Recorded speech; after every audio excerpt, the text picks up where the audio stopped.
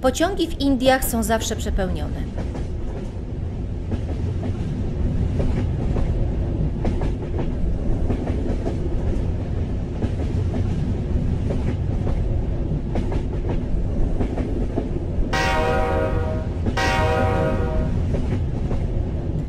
Pewnego dnia pasażerowi jadącemu z powodu tłoku na dachu wagonu spadł na ziemię sandał.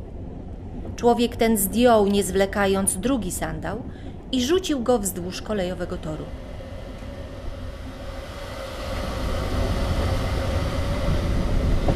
Jego sąsiada, który siedział razem z nim na dachu wagonu, bardzo to zdziwiło. Nie rozumiem. Dlaczego wyrzuciłeś ten sandał? A co mi jeden sandał? A ten, kto znajdzie, ten, który mi wypadł, też z niego nie będzie miał wiele pożytku. To już lepiej znaleźć parę.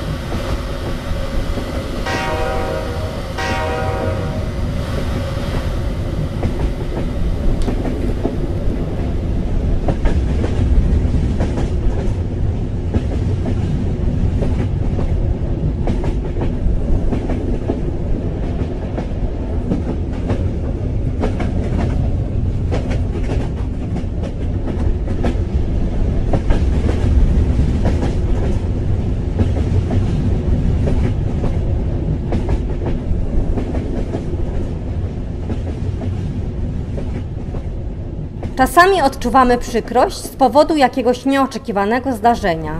Jeżeli pomyślimy lub wiemy, że może to się obrócić na czyjąś korzyść, będzie to dla nas pocieszeniem.